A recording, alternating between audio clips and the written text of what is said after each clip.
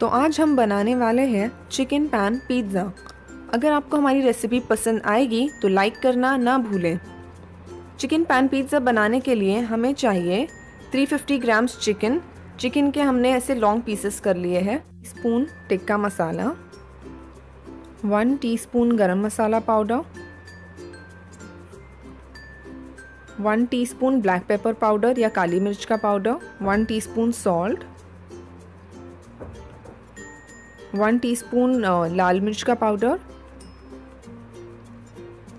one tablespoon lemon juice one tablespoon ginger garlic paste या अदरक लहसन का पेस्ट और हाफ़ टेबल स्पून ऑयल अब सबसे पहले हम ये सारे इंग्रेडिएंट्स चिकन में डाल के उसे मैरिनेट करेंगे।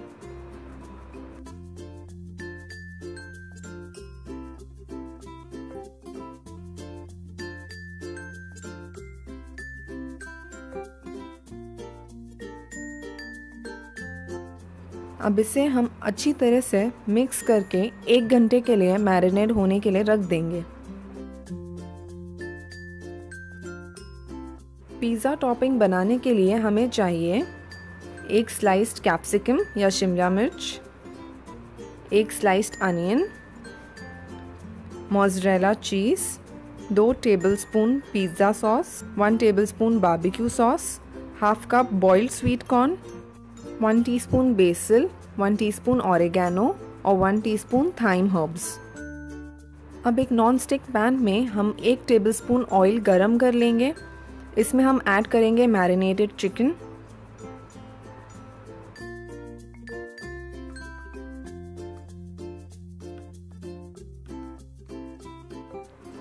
इसे हम 10 से 12 मिनट तक मीडियम फ्लेम पे अच्छी तरह से पका लेंगे। अब चिकन पक चुकी है। अब हम चिकन को एक बोल में निकाल लेंगे। इसमें हम ऐड करेंगे बाबिक्यू सॉस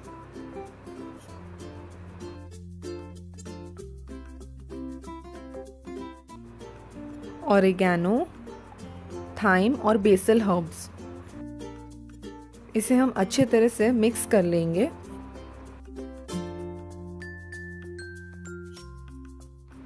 अब एक नॉन स्टिक पैन में पिज़्ज़ा ब्रेड को रखें। पैन में रख कर ही हम पिज़्ज़ा ब्रेड के ऊपर टॉपिंग्स ऐड करेंगे। पिज़्ज़ा सॉस डालकर उसे अच्छी तरह से स्प्रेड कर लें।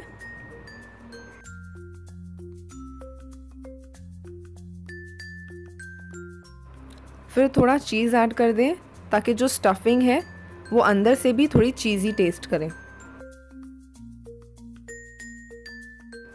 इसके बाद हम ऐड करेंगे चिकन। अब इसमें हम ऐड करेंगे अनियंस।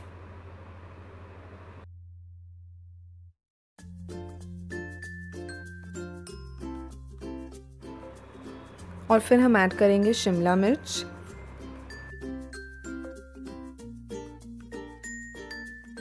इसमें हम थोड़े से स्वीट कॉर्न्स भी ऐड कर देंगे।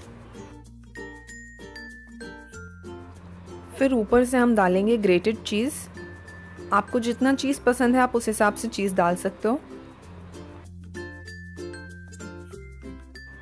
अब लो फ्लेम पे पाँच से सात मिनट तक लिड कवर करके हम पिज़्ज़ा को पकने देंगे. देखिए, इस तरह से आपका चीज़ मेल्ट हो जाना चाहिए. और ये हो गया है हमारा चिकन पैन पिज़्ज़ा तैयार। अगर आपको ये रेसिपी पसंद आई तो ज़रूर ट्राई करें, अपना फीडबैक कमेंट सेक्शन में दें और चैनल सब्सक्राइब करना ना भूलें। Thank you